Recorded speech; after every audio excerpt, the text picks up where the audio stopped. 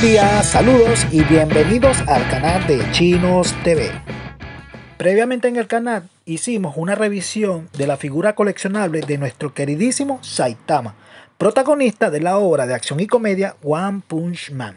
Y concluimos que a pesar de ser una bonita figura, es poco recomendable por sus críticos fallos de acabado y control de calidad, justificable en un bootleg.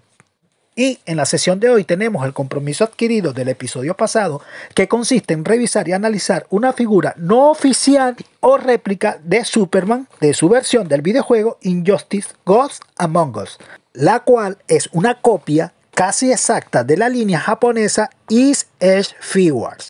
Con respecto a su empaque seré breve.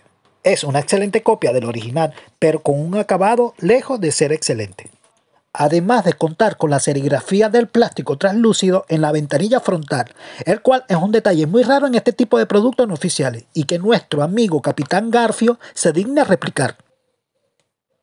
Al sacarlo del empaque genera una sensación agradable y de cierta calidad. Además viene con un manual que no pocas veces incluye. A su vez es súper sencillo, un simple papel impreso. Este coleccionable impresiona a primera vista, fabricado con distintos plásticos de variada densidad y de cierta calidad. Sus articulaciones son sólidas, la del torso está floja.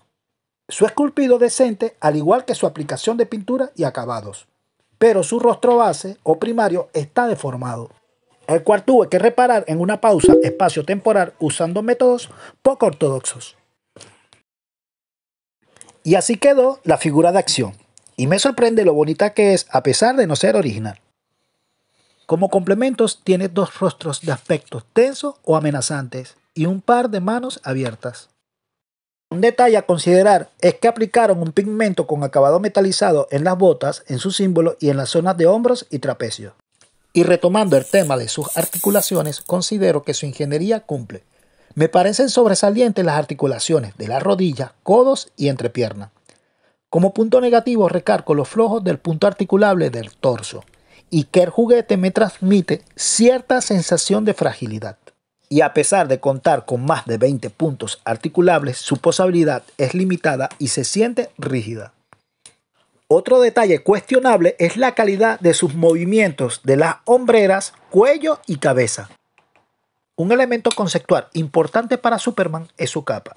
Esta se compone por tres segmentos unidos de forma simple. Y siendo honesto, se nota la baja calidad del plástico y se percibe frágil y quebradizo.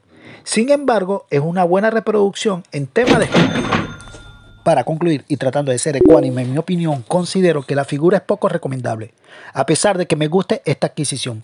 Su poco elemento negativo deben de tomarse en consideración. Primero, el plástico con el que fabricaron la capa, el torso y la cadera se sienten quebradizos. Segundo, algunas articulaciones están súper flojas, en especial la del torso, y el sistema de doble articulación del hombro lo percibo mal aplicado.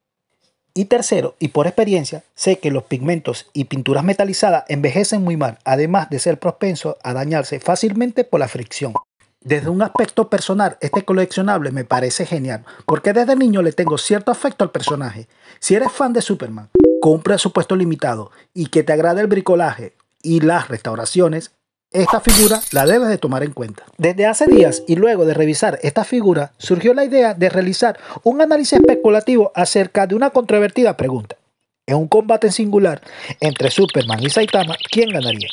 Y para la próxima semana publicaré dicha secuencia audiovisual y contaré con la ayuda y opiniones de seres muy queridos que al igual que yo comparten el gusto por el friquismo. Y sin más que decir, se despide su servidor, Chinos TV. Y si te gustó este contenido, dale like, comenta, suscríbete y comparte. Y chao, chao, chao.